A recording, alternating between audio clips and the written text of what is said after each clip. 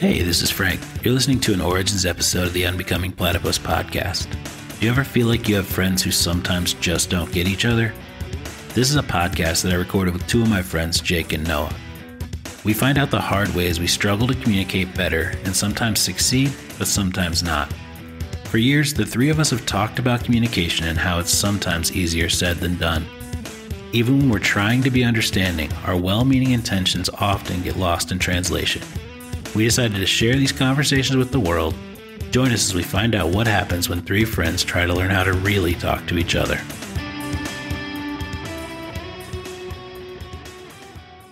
What did uh what did you guys do last night? We watched the show, made some meatloaf. Sort of binge binge watch the the show Breaking Bad. Yeah, we watched the last three episodes to get that thing finished. Nice. Oh, you got it finished. Yeah. Is uh Better Call Saul, is that like the sequel to that show? Yeah, you haven't seen that? No, have you ever watched it? Incredibly good show. Okay. Are you intending to watch that next? Is it a, I'm hopeful. is it after the events of Breaking Bad or is it just about Saul's life? Like is it At any point does he change his name to Paul? To Paul? does he get don't blinded? Does he have like a you know I don't think Jesus it's experience? no, Oh, okay. but I just don't know anything. there are both parts after and before. Oh really? Okay. It's interesting. I loved Breaking Bad. I've never seen Better Call Saul before. Do you remember at the end of Breaking Bad where he says he's at the vacuum shop or whatever, and he's like, "I'm hoping I'm a Cinnabon manager in Nebraska or something to Walt in Um, a couple months." I don't remember that specific line, but That's a Key segue. that's what happens next. that's, that's pretty cool. I've heard good things. I've just never. What's it on? What platform is it on? Netflix. Okay, cool. Yeah, I, I mean, I watched Breaking Bad probably ten or twelve years ago. Hmm. Uh, watched it straight through. I think I got into it during the fourth season. Are there five seasons? You just watched it, man. Yeah, you literally just finished it. I just watched it for three months. Uh, by pushing play on the next part. Oh, I guess. I think there are five seasons. I think I I bet we have Google. I have no idea what that is. Um, I think there are five seasons or four seasons. Five. There's five. So I started watching the show when the fourth season was airing. So I binge watched, you know, one through four.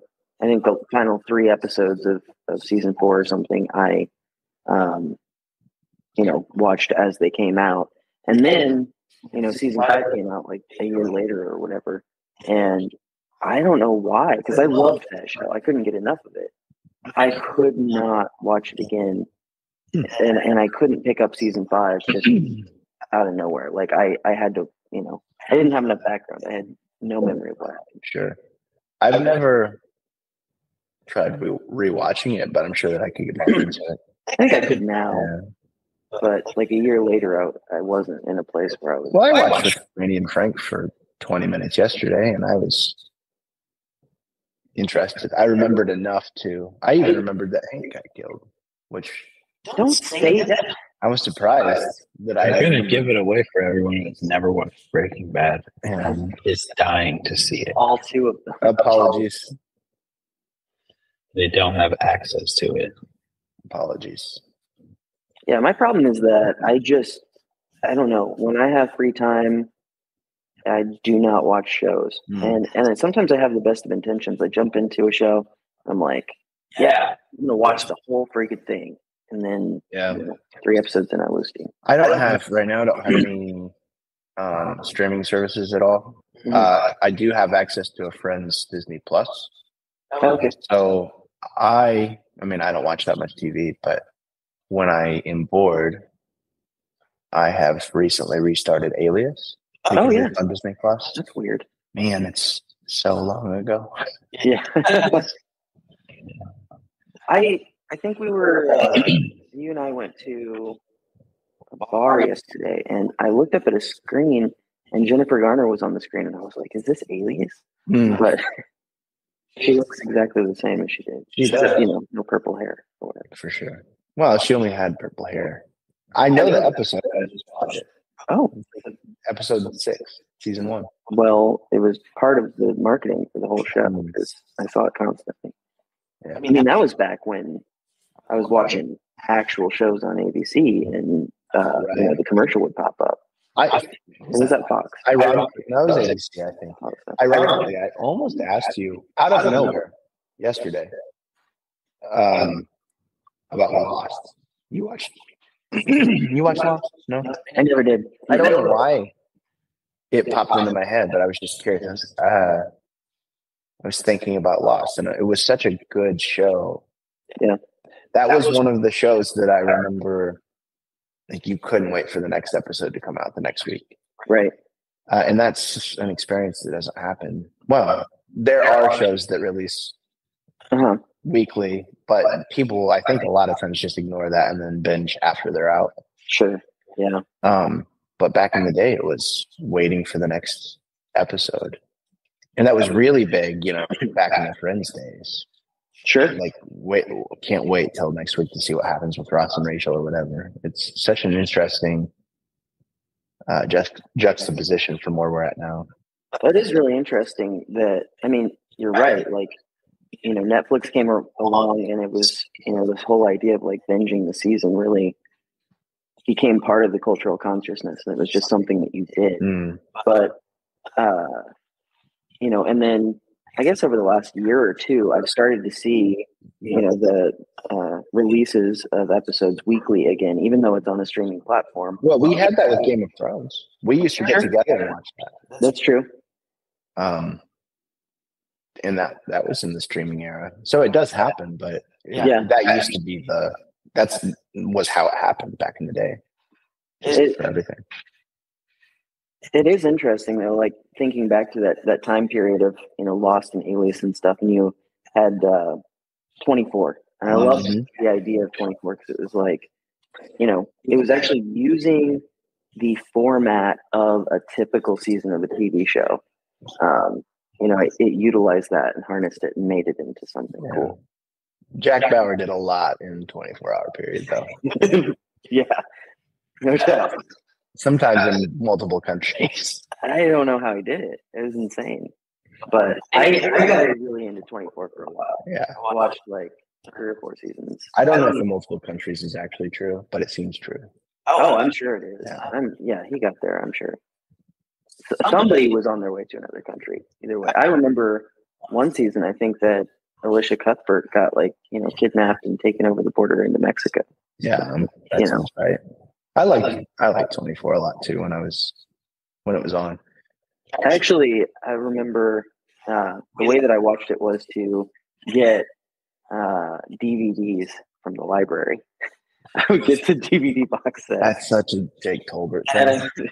Watch it on my Compaq Presario 5000.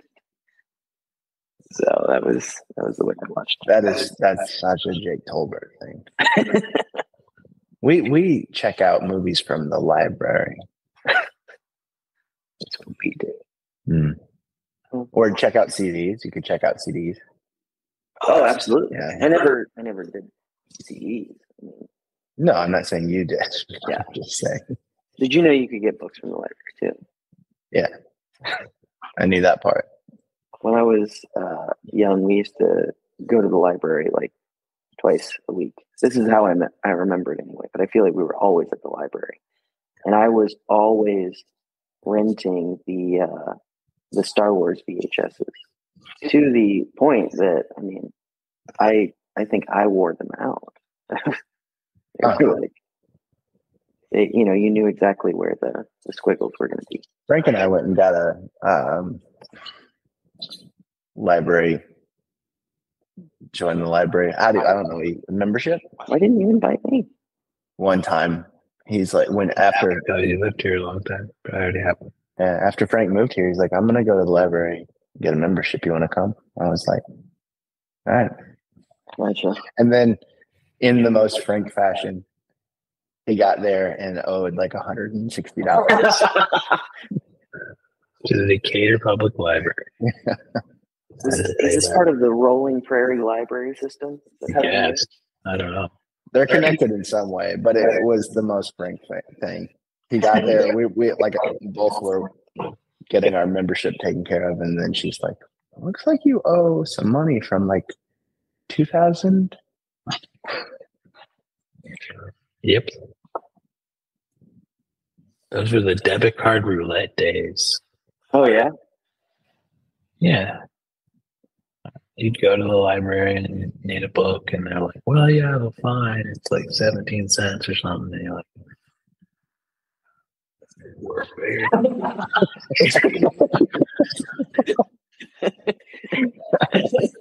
I just want to read this book. You know? Uh, uh, I, dollar fifteen. I I can't afford it. I guess. Oh. Read the book. I remember. Yeah. I remember having like a uh, you know calling up Staley Credit Union and being like, "Hey, so I see that you put an overdraft fee on my account, but I mean, I I replenished it like you know two hours after it overdrafted.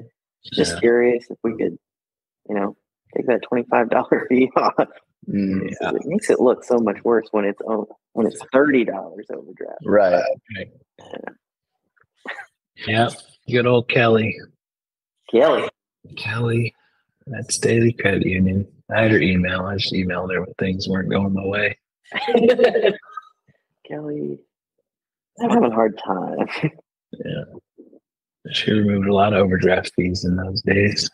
That's funny. Kelly's very kind. Yeah. Overdraft fees as a concept are kind of horrible. hey, you didn't have enough money to pay for this, so we're gonna take more. Right. Yeah. Yeah, I think in the beginning they weren't horrible, and they're they are required sort of incentive. Oh yeah, As a bank, you have no viability if everyone overspends. Sure. yeah, it has to be done. I mean, what else are you gonna? But now it's like you know, go and get an account, and they're like, "Hey, do you want you know six hundred dollars of overdraft insurance or whatever?" Yeah, I don't get that. Like, what's the point? Do they only give that to people who are never going to overdraft? yes, okay. Probably. yes, that's a credit, Robert. It comes with a fee, different different fee. You don't go negative; you just go into your line of credit. Sure. That makes sense. I get that. And then they charge you interest on that if it comes to it. Yeah. Oh, usually instantly. Really? No grace period on overdraft line of credit. Usually, Interesting. Frank, I, I love the robot face a lot. You're adding the conversation we're having right now to the agenda. Yeah, Let me let me pop over here to the jam. trying to help us keep on track. Filtered ketchup. I prefer salted mustard myself. Talk about favorite shows and TV in general. What do you guys think about TV? I think it's it's a great idea. I hate it. I hate it. Big fan. So, There's a time in my life I enjoyed movies. hmm, I I can't watch movies anymore. Like I could. fall but- asleep twenty minutes. Yeah. Uh, yeah, I'm, I'm like that mostly. I do have time when I have free time. Sometimes I will go back and watch something. I watched the first three John John Wick movies since there's a fourth one now. There's three. There's four of them. There's one out in theaters now, I think. Are you serious? Mm-hmm. Oh. And I've never seen John Wick ever. And I, you know, I got have Google Play money that I can use. So I would, over the course of a few weeks, I watched three John Wick movies. Lots of people die in those, man. Yeah. Is that the one where he goes to hell? What kind of murderers would you say they were? Well, I don't know. Jake would have to answer that question. Jake well, is of another type of murderer since the last time we talked. They are dangerous. They are robbers in general. They are, you know, these like bad sort of ideas. If this person is walking up to your house and knocking on your door, they want the worst for you. They're going to try to hurt you or something like that.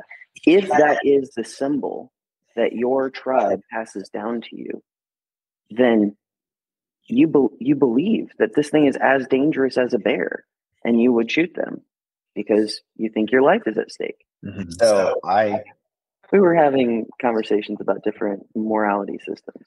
Yeah. But one of the questions though was was like it, essentially we started talking about this idea that um, we started talking about this idea that you know the closer a relationship that you have to a person, if I walk in and I see Jessica about to stab a person, well, I know her very well. I've known her for a very long time. I, I'm not going to try to stop her because because I'm going to assume, you know, that she's sort of an extension of my consciousness. I know that she would not be doing this unless it was it was necessary in her mind. would you not want to stop her from the standpoint of you don't want her to have to live with having killed someone? Potentially. That's I don't I think that in that moment there is a very quick sort of uh, Yeah. you know decision matrix that happens. You're you're not going into a lot of details. It is react or don't. This is sort of why I don't like this conversation because it's just always that. It can all. It's always. Well, I think it, it's going to depend. It's going to depend, and then it just gets broader and broader and broader. And so that's why, like last week Mhm. or two weeks ago, whenever that happened, uh, um, that's why I was like, I just don't feel like this conversation is super helpful to what our topic was. Yeah. I'm not saying right in this moment, Sure. but that's why I don't love that conversation because I agree with you. Yeah. I don't think you're wrong, but it it just always gets broader because you can always say, well, it oh. depends. It depends on the person. Do I know the person? What's happening? You're going to make a decision in the moment, and then all of a sudden, like your parameters continue to widen. Absolutely, yeah. I think what I think, you know, just to close it out though, the question that you asked that I thought was really interesting was something like, you know, what if Jessica was going to kill Thatcher? And then I said, oh, or, you know, what if Thatcher was the one with the knife? Like, Mhm. what what are the different responses here based on the closeness? You know, if this is uh, my son, Sure. am I going to stop it? Uh, it it it changes based on who the person is for sure. Exactly. How well you know the person. I like for for the listeners out there. We have a Google Meet open, and all of us are different um, filters. Mm. Are using different different filters, and then Frank has been responding via emoji. No, I'm not actually using a different filter. I actually do have that octopus sitting on my head. Oh, okay, guys. but Frank, Frank has just been listening to the conversation and reacting via emoji that floats onto the screen. I thought the conversation was about emojis. That is a moving emoji. Did you see that? Yeah, they float onto the screen and is then they float off of the screen. Yeah, but no, I mean the, the thumbs up thing. Like it started with the thumb not up, and then the thumb went up. Mm, It's an animated emoji. mm. That's pretty cool. We've What do you guys think about emojis? man, that wasn't forced. We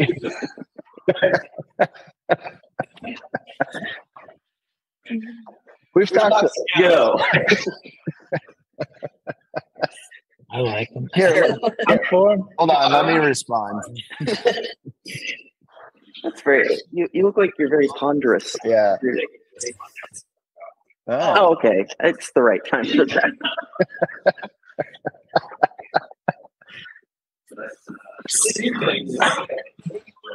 How are you feeling about this podcast today? Pretty good. Good.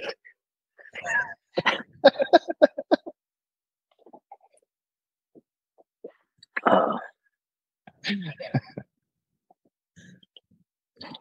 no, I mean, I think think that octopus hats are pretty solid. Yeah. Well, I actually look like a dragon, a baby dragon. Yeah. You said dragon. Spyro? Spyro? Dragon, dragon. Spyro the Dragon? I mean, I've heard the name. I don't know what that is. It's a PlayStation game. Oh, okay. Yeah. Is that actually Spyro or is it just meant to look like Spyro? It's not Spyro. Okay. It's just one of the only cute little dragons that I know of. I mean, Spyro was purple. Uh, Um, but yeah, I remember I had Crash Bandicoot Warped on PlayStation, uh, the original. And if you put in a cheat code in the menu Mm. of that game, it gave you a demo of Spyro the Dragon. oh, okay. And uh, so that's the only thing I ever played. I never actually owned Spyro the Dragon. Gotcha. I've heard the name. I just didn't know what it was, but Yeah. it makes sense. Yeah, he's pretty pretty cute little dragon. Snorted fire and stuff. Yeah. Anyway, So um, our recent conversations have been about Slack. have been surrounding, for some reason, surrounding social media, communication, brand, branding to a certain extent. Yeah. And um, emojis are interesting. We we talked a little bit about emoji use at work uh, a couple episode, episodes ago, and it's interesting because I remember a time, and we still are this way. You and I specifically, but I think Frank too. I don't. I haven't had as many conversations about emojis with Frank as I have with Jake. Jake and I have. We talk We it's emojis almost constantly. That is so good. But I remember a time years ago when we would actually make fun of it. Like, Oh yeah, oh, somebody, why would you say, why would you put an emoji in a text message? hmm Um, I think that's interesting in and of itself because why did we feel that way? And I think to a certain extent, still feel that way. We would not use emojis with each other for sure. At least, I mean, not non ironically. hmm right. Um, but I have come to use them regularly with like my girlfriend, Okay. for instance. And actually quite often. I like it because I mean we have a long distance relationship and our all of our communication is virtual. Mhm. And so sometimes you're a little bit talked out. You know what I mean? Because all we can do is talk. Mhm.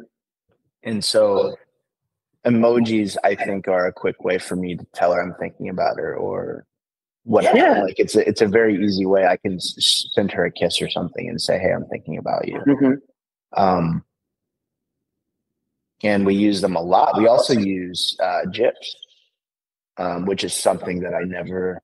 I mean, I would have never done that in the past, but Sure. uh, and she sort of introduced that to me because again, we're we're in a long distance relationship, so so she would send me a GIF of a man and a woman kissing or something. hmm And at first, it was sort of weird to me, but then I just I realized over time she's just trying to say, "Hey, this is what I would like right Mhm. now with you." And so, anyway, I think it's interesting to talk about emojis in the context of language. hmm Um, and I think you're a good uh, person to bounce stuff off of because of you have a background in linguistics and and this sort of thing. So I was thinking about emojis as language specifically, not just emoji use in social media or whatever. Um, so I guess I'll start by asking you: Is emoji use is are emojis a language? That's a really interesting question. I like that question. Um, Maybe, maybe. Can I give you a different question to start with? And you pick the one you like better? Sure. Are emojis somewhat different than, would you say, like Egyptian hieroglyphics in language? Hmm. I would give the exact same response to both the questions. Great. I Um, one, one more. I'm not asking a different question, but one other thing. Um, I know this is a big conversation within linguistics, Mhm. and I I recently heard um, on um what's the podcast? Lexicon, Valley. Lexicon Valley. This brought up briefly, and they. I'm just adding to the hieroglyphics question. They Yeah. they mentioned like uh, Chinese or something because Uh-huh. they use what we look what we see as symbols, Sure. not necessarily symbols, but for to us it looks like oh they're just using a bunch of symbols to talk. So I'm just gonna throw that out there at, before you start talking. Yeah. Uh, uh, yeah. So, I mean, when I hear that, um, the first thing that comes to mind that I would say is that what language is not. Language is not written. Mm-hmm. Um, and, and that's something that's really hard for Western society to wrap their heads around because we are brought up with written text alongside speech uh, side by side from the very beginning. But when you actually look at language, it is uh, primarily spoken. It that's the way it began. It's been around for, from what we can tell, like uh, eighty to hundred thousand years. Um, written language has only been around um, for six to ten, I believe.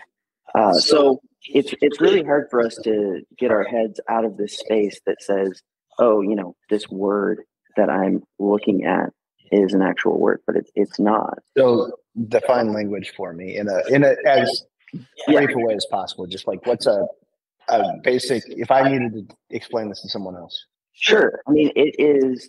Um, it's essentially spoken, sim- spoken and shared symbol. Hmm.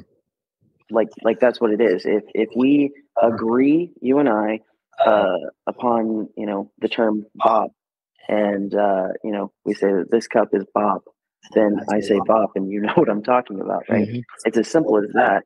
Um, is a is a shared symbolic, um, verbal system. That said, language is multifaceted.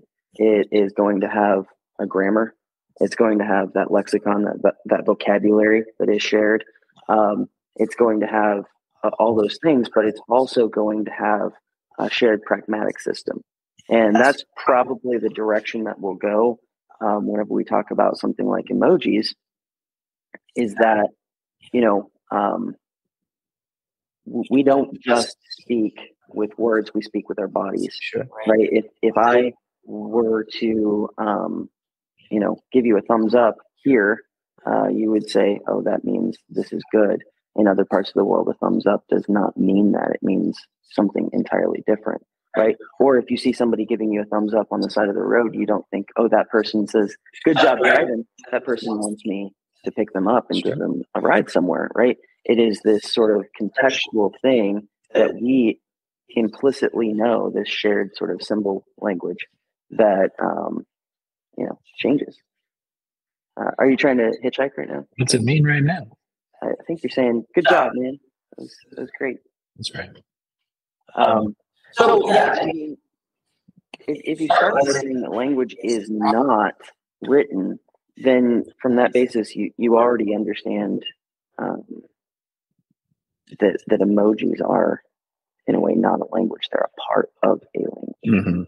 right? Um, I asked you. I'm sure you're getting there, but I asked you the other day when we were in the gym working out. I Mhm. said, "Are emojis a language?" And you said, "Yeah." in some in some form or fashion. We we can get there, but basically, the idea that that I'm trying to get at is that um, in and of themselves, they can be used like language in a similar way that uh, well or haha in texting can be used, Mhm. right? These are what linguists call uh, pragmatic particles, and they are ways of giving you context clues to the emotional state or um, or the intended meaning of otherwise arbitrary text, right? That's that's sort of the way that they're used. Um, that said, we can use emojis in a way that we can't use uh, LOL. If you wanted to text Amy and and you know give her a kiss, like sending LOL out of context means nothing, right? But if you send her that emoji, the little heart lips, Sure. uh, it means something else because it's it's actually It's got context built in. So Right. it's an avatar of your face across the room, like sending a kissy face, right? Um, so it kind of evokes this idea that text is very much like spoken language Mhm. in that we're not writing an essay usually whenever we text right um, if you look at, at modern text usage you're going to see uh, sentence fragments. You're going to see um, a lack of uh, punctuation sometimes. You're going to see a lack of capitalization. These things are not parts of language that you're thinking about when you're speaking out loud. As i'm talking to you right now am i thinking about the fact that that sentence started with a capital a? Absolutely not. I'm not thinking about where the commas are. Sometimes i might interrupt myself in the middle of a sentence um, you don't see that in a book or in academic literature or anything like that. You see this sort of prestigious well thought out you know flowing drafted edited sort of prose. Whereas text is really bringing us back into the realm of writing like we speak. I think that emojis, in a very similar way, are allowing us to communicate. Um, you know, this is that Snapchat conversation that we were having, right? It's like, how do we communicate in a digital space by recreating what we could do in the same room together? Yeah. So in that way, I think, yes, emojis are a shared language, but usually not between more than like two people. Is this something you had? Did, did you cover this in school? Did they talk about this specific thing? Not, not really. No. Just out of curiosity. Um, do you know sort of the origin of emojis? I mean, I don't. I, Uh, I don't I'm either. Sure about it, but Well, I just googled it out of curiosity, and I obviously I don't have enough time to do research to know what's completely accurate. But the modern day emojis, they basically say go back to the early or the mid '90s, like with chat rooms. Of course, that makes sense. Mhm. And you know, those were just uh, using Colon and- colon and parentheses or whatever. yeah, Um, and of course, they have over time gotten broader and better. But Those were originally called emoticons. emoticons, yes. Oh yeah, that's right. Yeah. Um, I forgot about that. So we went from like emoticons to emojis, and now we've got like bitmojis. right. That's that's that's an interesting piece of it too. Is now we're trying to not just show a face, we're trying to show an entire almost personality and identity mm-hmm. in in like a bitmoji. The origin of I'm just reading this from the internet. The origin of emoji can be traced back to Japan, the late 1990s. The word emoji comes from a combination of two Japanese words, e meaning picture and moji meaning character. Hmm. and so that's that's also interesting i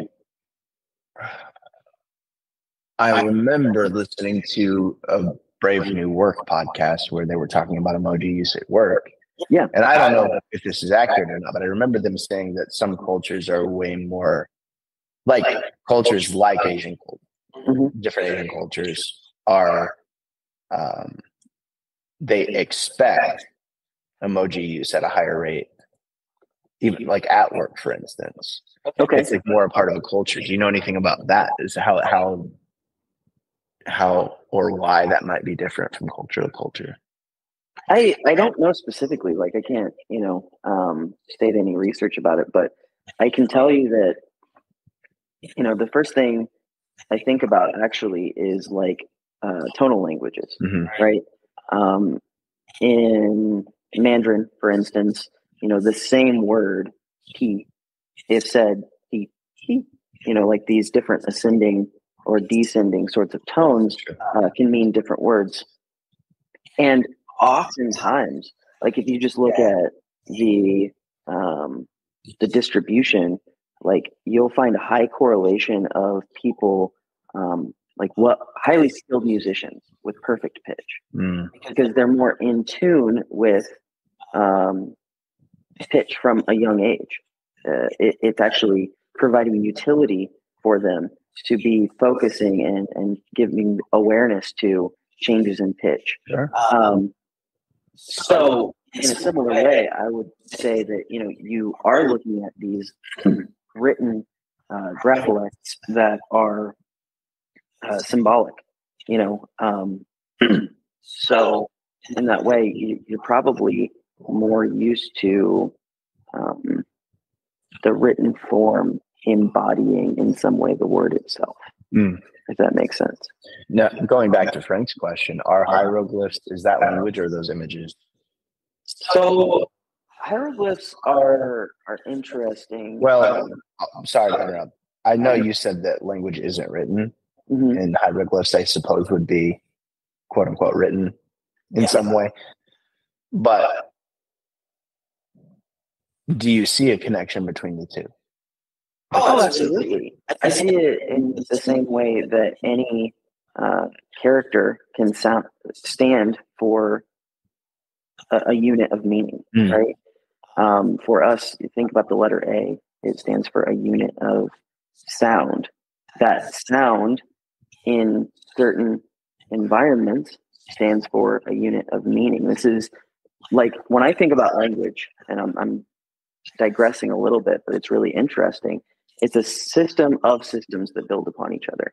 We have within us the ability to make sound with our mouth. It's just based on the shape. So if I have my mouth more open and I just vocalize a sound, I'm going to get ah. and as I start to close my mouth, changing the shape of it, I'm going to get oh. Mm. You know, so at the back of the throat, I've got ah, and at the very, very front, when those um, lips are almost closed, You've got ooh. That's a vowel. There's also, you know, all of these consonant sounds where we're actually closing the mouth a little bit. We have voiced and unvoiced variants, which basically means are my vocal cords engaged or are they not, right? So if these, this is just the human ability to make sound. The next system up is uh, phonology. How do we turn those sounds into meaning? Mhm. So, for instance, um, you know, if, if we're talking about the word apple, right? You and I would pronounce it apple. Uh, the British would pronounce it probably something like apple. And we're changing that sound. A and ah, they're both represented by this symbolic with A, Sure. but they mean something different, right? Apple is not a word, so I'm going to assume they mean apple, right? Uh, but we can actually change the meaning of a word.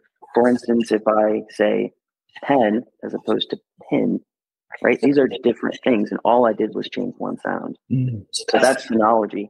Then we've got morphology, and these are little bits that are like clumped together. So, um, you know, I can say the word tie. You know what this means? It's the act of, you know, tying laces together or something like that. So tie is in itself a morpheme. Uh, it's also a word. I've got another morpheme, un. I can put un right in front of tie, and I put these two units of meaning together, and they mean the opposite of tie, right? So this is what we do. We've got uh, syntax on top of that, which means what order do I put things in uh, a sentence, right? If I say, um, you know, I untied my laces, it means something different than my laces untied me, right? The order of these things matter. Sure. Um, so as we compound all of these systems together, this is actually what is creating this matrix of meaning Mhm. that all humans over time share. Um, and I realized that, that, like I said, was a big digression. But when you're thinking about meaning making and symbol sharing, there is a lot going on between us. So it makes sense to me that when we're trying to share something that is necessarily spoken for all of time, you see my face, you see my hands moving, all this stuff. It had to happen in the same room together. When when we're sharing it over vast spaces where we can't be together, we're going to try to recreate that because you can actually glean more information uh, than just the words at face value. Hmm.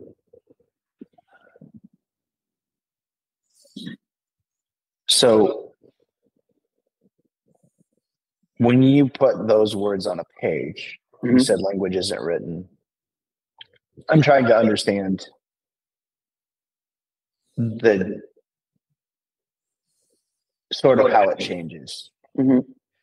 Um, so if I put a, a sentence on a page, how is it mm-hmm. different from the, the spoken sentence as far as language goes? Is, is that Can you rephrase it somehow? Yeah. So Language is written for sure. language is in its primary state oral. And it is that Historically was.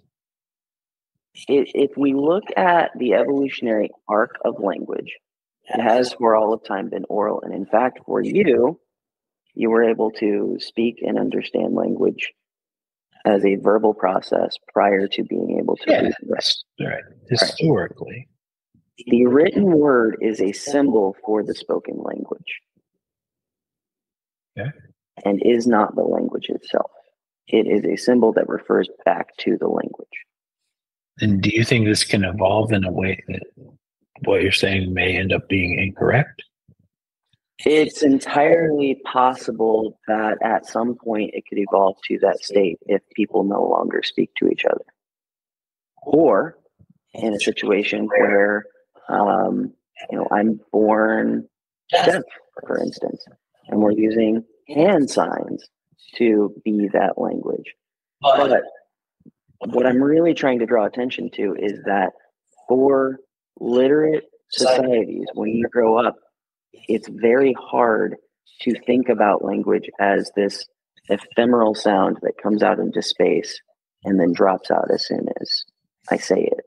We think of it as this lasting concrete symbol that you can write down and hand to someone, but that itself is not language. right? Well, and the, the place that I was actually trying to go with this, I think, Yeah. is I'm trying to understand the difference between the language and the symbol of a language, Mhm. and maybe what makes those things different and how, how different and how emojis you emoji use, Bitmoji use, these things that are developing hmm when you put those on paper or on a computer screen, for instance, might make it closer to language than just the symbol of language. It because now you talked about tone and, and, Mhm. and these things. I think emoji brings us closer to being able to put that on paper. Mhm. And so I don't know what my question is exactly, but I, that's my thought process is that do emojis bring us closer to language being on a screen? I would say yes in every way, and this is sort of what I was getting at with uh, with text as well. Is it's like you know we have gone from being an oral people. If if you look at the transcript for this podcast, you will realize that I just said half of a sentence, interrupted myself, and have probably done that like three times uh, in the last thirty seconds. Right. This is how people actually communicate.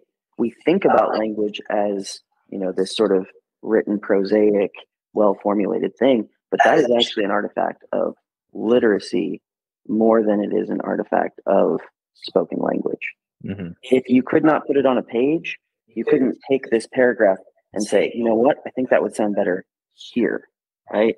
It allows for this sort of retrospective and editing process. We didn't see things like um, a detective novel which really requires you to have point A that is leading us to this big reveal because you you needed to start with the reveal and you had to work your way back. And the brain typically just isn't capable of thinking about this and and capturing an audience in that way without you know being able to move those things around tactilely. But um the point that I'm trying to make here is that, you know, text, we have sort of allowed ourselves to be as lazy as we do when we're speaking. We like, you know, I mentioned the thing about no punctuation, no uh, capitalization, this sort of thing. Maybe sending, you know, a few words with an LOL afterwards, just sort of these like pragmatic indicators. Oh, that was, you know, I meant that in a funny way. And yes, I think that what we are really attempting to do in this text space is different than what we're trying to do in academic literature. We're trying to recreate the room that you that we're all sitting in right now, where you're looking over at me and you know, and I wipe my head and you know that I'm warm and you know, like all these things. We're trying to recreate that in a digital space. Yeah. I don't know. I think emojis do things that you can't even do in a physical space. They can bridge like cultural gaps. Yeah. Um, I've worked with developers in the past that I would feel way less able to communicate with if we were at to sit in the same room together. Sure. Uh, versus some chat, some emojis thrown in to get a clear understand, like they're universally understood. Mm-hmm. So I don't know. Uh, Yeah. In some ways, it's better than this other kind of language you're talking about, and that makes me think it's a language of its own. Well, this is sort of what I was getting at um, when Noah said the other day. I said, yes, it is a language. It's a language between you and them that has been agreed upon, and you might use um, you might use an eggplant and me an eggplant with them. Like, what are you having for dinner? Eggplant. You used an eggplant with us. We think you meant something different, right? It's a shared sort of thing um, that could mean something different to to different people. Um, but you all have sort of determined this is what these emojis mean. Um, Well, yeah. I mean, eggplant's a little obscure, but Sure. everybody pretty much knows what the you know the common ones are: thumbs up and celebration, and you know there are there are cultural differences that are sort of harder to bridge than just a really smiley guy with a thumbs up or whatever. You know, it's like, oh, it's like, Absolutely. yeah, he's happy. He liked what I did. That's Yeah. good.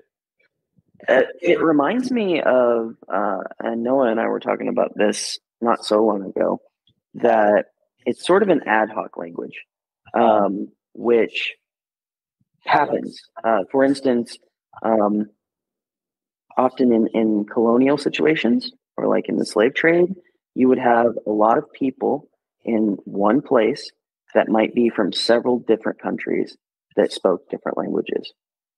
And what would often happen in these places is you would get what's called a pidgin developing. A pidgin language is essentially a language that is almost always started from trade. Different people interacting. I need that fish that you're selling. I have this uh, ceramic. Uh, you know, let's trade. We have to be able to develop some sort of really, you know, tiny language to to do that. Usually, what happens is you've got one language called the lexifying language, which is where you get all your words, and another language that provides the sentence structure or that syntax. What order do we put them in?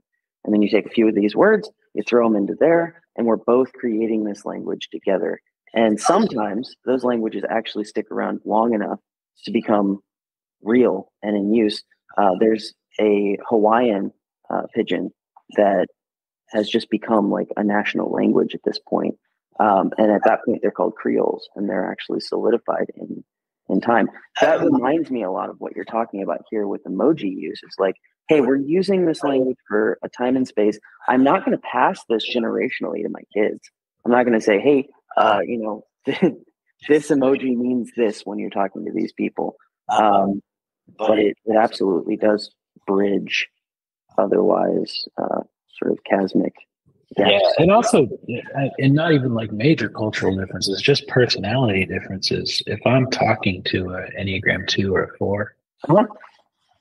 I use emojis because there's no risk. There's like so much less risk that they will misunderstand what I mean. Interesting. So I just always use emojis. They're concise, they're clear. If I don't use an emoji, there's a chance that they think I'm mad at them or something. Uh-huh. Not just these specific types, but Sure. they're the most common misunderstood, like misunderstood by me, I would say. hmm Then I have a whole phone conversation.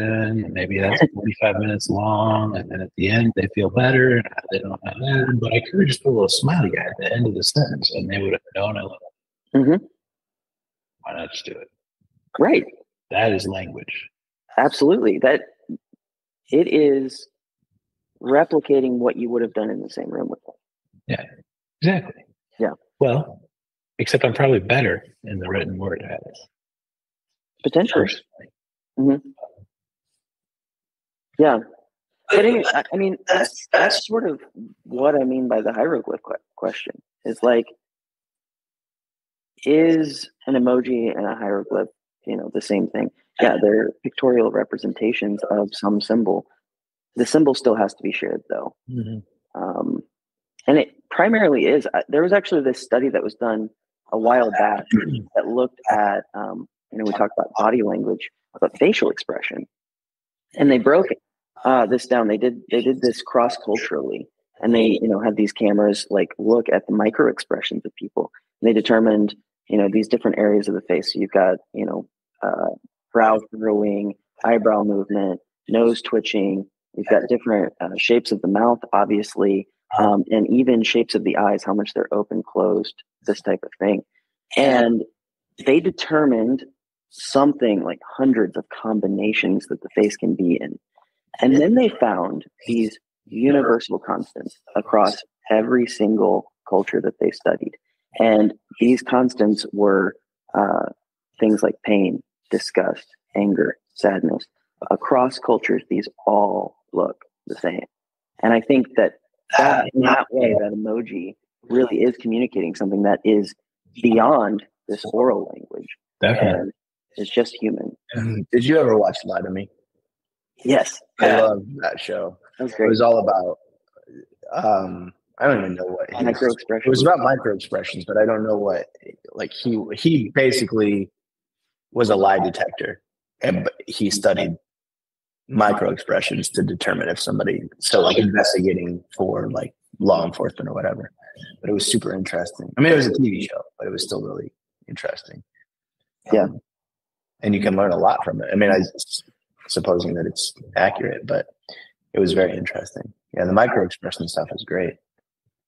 Yeah, and I mean, it- you know, I said that language is, you know, in its primary state oral, but uh, there are obviously these other aspects or dimensions to language, like body language. And if if I could take it back, I would say, yeah, I mean, the baby looking up at its mother's face uh, while it's feeding is probably receiving communication, and she's receiving communication from it um, far before words mean anything at all.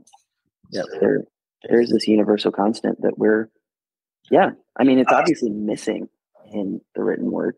So being able to add it back is making it more like the real world. Yeah. I mean, I use emojis.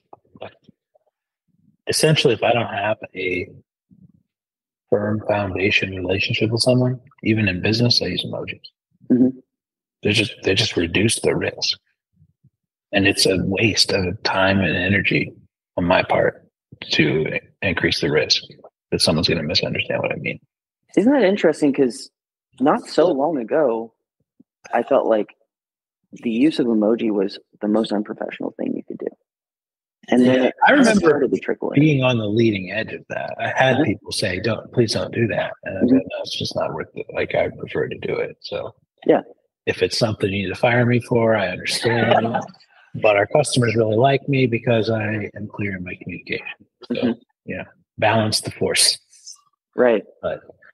I know there are people who hate it uh, for sure. I don't. You know, if they make a comment, I don't know, I'll probably stop. Like if the recipient is like that, why'd you put a smiley face on there? I'll probably stop. But Sure. It's sort of person specific or audience specific. Yeah, yeah. I mean, it's I especially learned like the people who emotions mean a lot to them. Mhm. Like they're really how they feel is important. Uh, a lot of people aren't that way, and a lot of people are. So if I know that it's important, I'm like I'm going to spend more energy on that part of the message. because I just want to create an environment people want to work where they want they love what they're doing, and if Right. they hate it, then they're never going to do it. So I, I, this is, you know, totally different. I guess it, it's almost what workplace culture related, but it's like, I don't know if I personally have gone through this evolution or if work culture in general is sort of going through this evolution, or maybe it's both. But I remember, you know, in some of my first jobs, it felt so prescriptive. You have to dress this way, despite the fact that you would never dress this way any other time.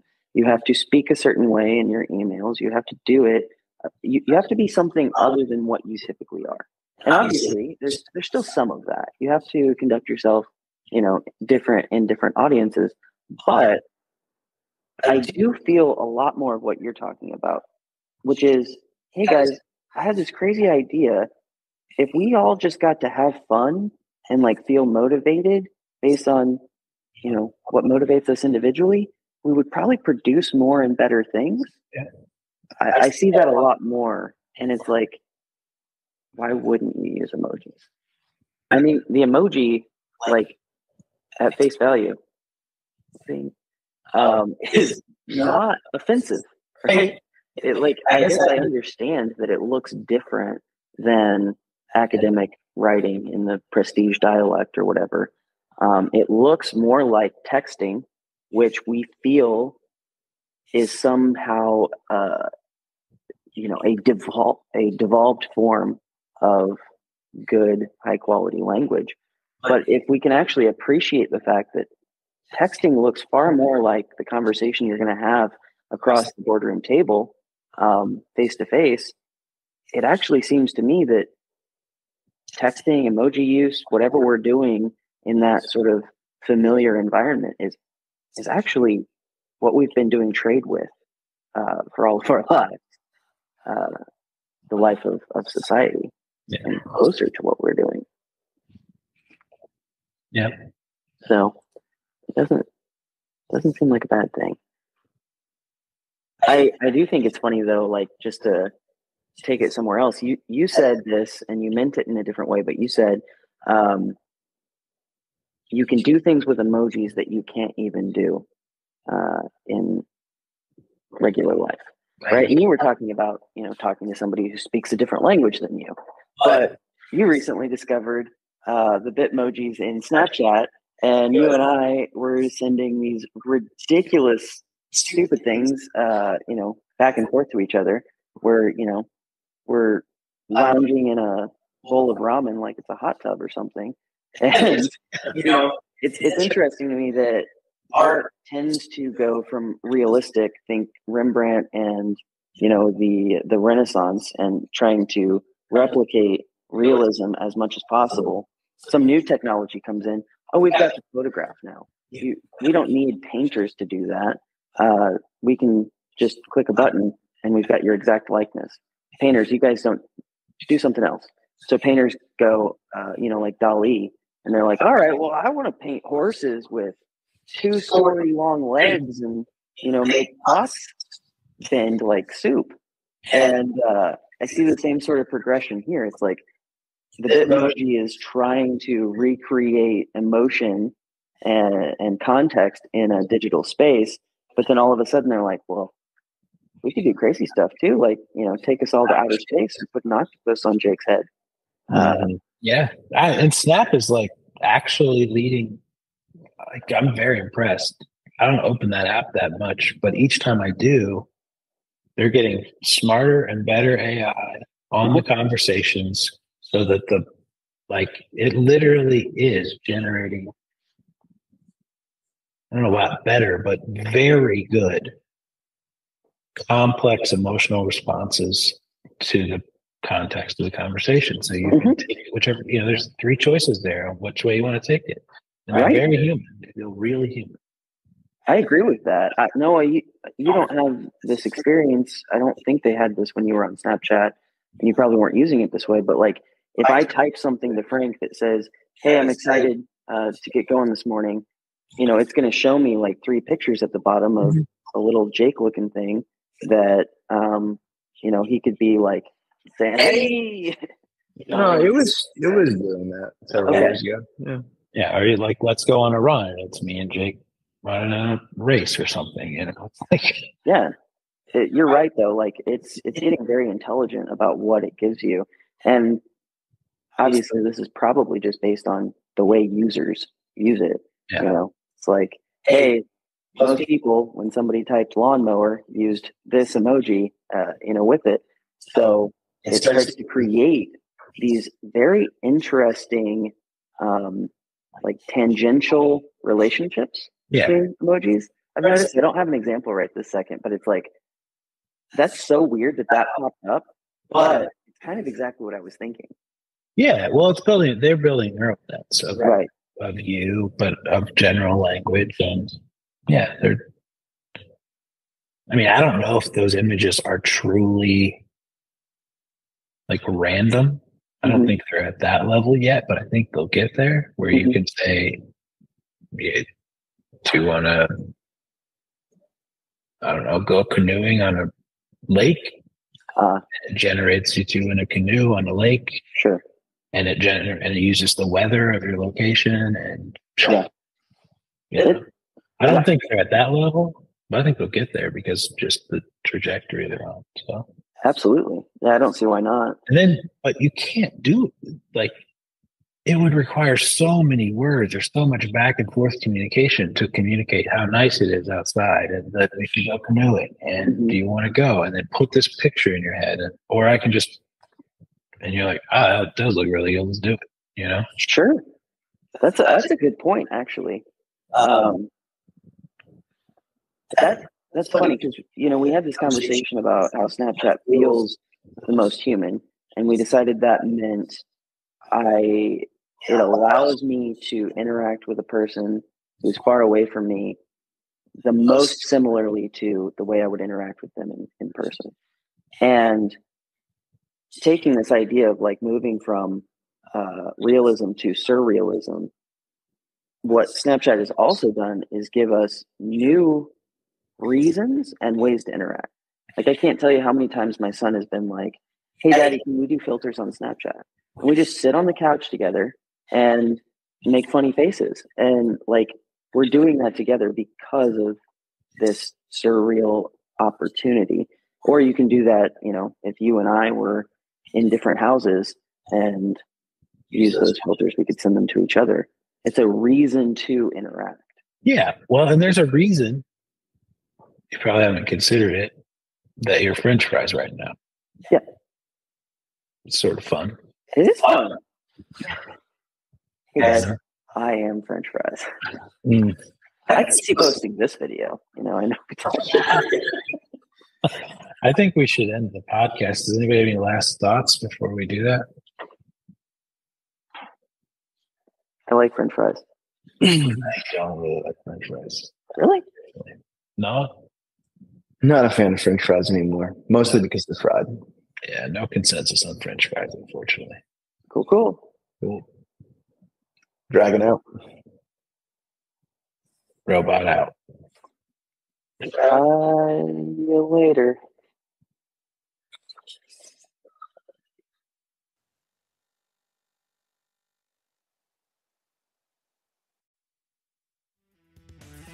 Hey, it's Frank again. Thanks for listening to an Origins episode of the Unbecoming Platypus podcast. If you enjoyed this episode, please subscribe to our podcast to stay updated on future episodes.